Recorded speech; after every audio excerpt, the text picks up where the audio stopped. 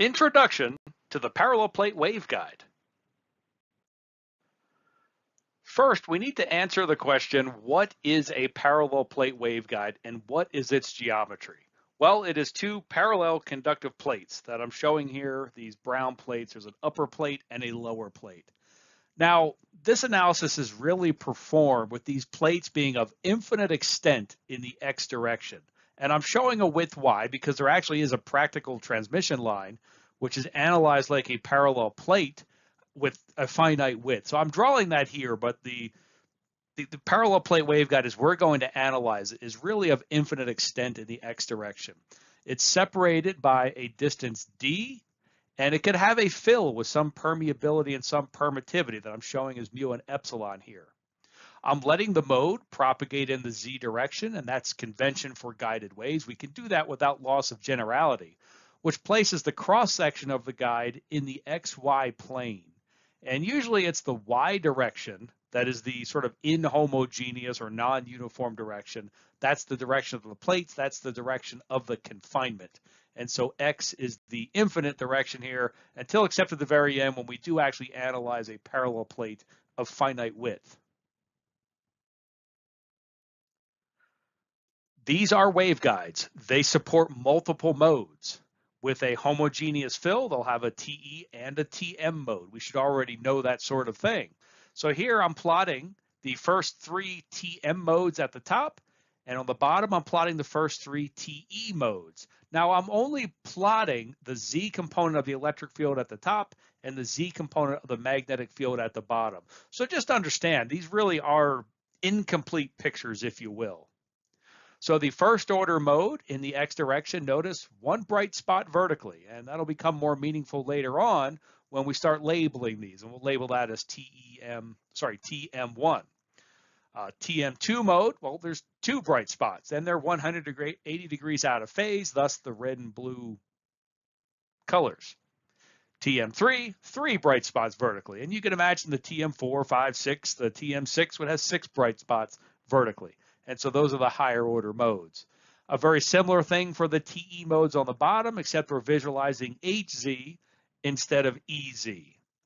Now we might say, hey, we have a TE1, but I'm looking at two bright spots here. How is that? And that's a good question. You're actually looking at two half bright spots. Hard to see, but if you examine uh, the up the picture at the top and the bottom, you will notice, yes, okay, that's two half bright spots.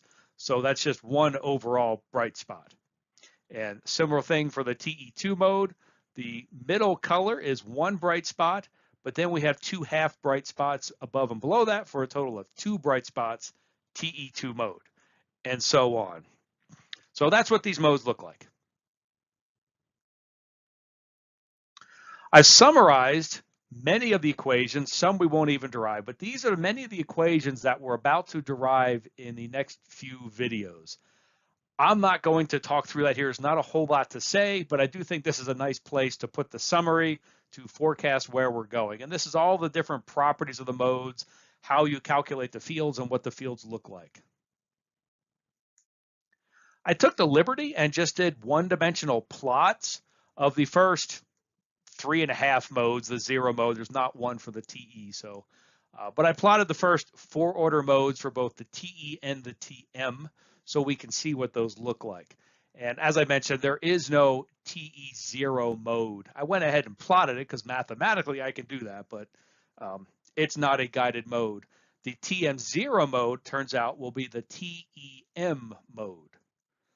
But I've plotted all the rest and these plots will have more meaning as we go on, but suffice to say, this is what's coming in our future for the parallel plate waveguide. Some notes on these. The parallel plate waveguide only supports a TEM mode when it has a homogeneous dielectric. It has two conductors, so it's a transmission line, but if there's some kind of swirly or something inhomogeneous dielectric, it does not support a TEM mode. It may support something that comes very close to a TEM mode, and we could get pretty accurate answers if we analyze it that way, but it is not rigorously a TEM mode. Also, when there's a homogeneous fill, it supports TE and TM modes. Those are the higher order modes. The lowest order mode of the parallel plate waveguide is the TM0 mode, which corresponds to the TEM mode of this transmission line. Of course, only if it has a homogeneous fill.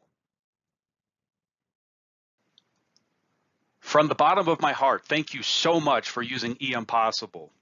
I want to create more videos and I want to continue to improve how electromagnetics and computation is taught online.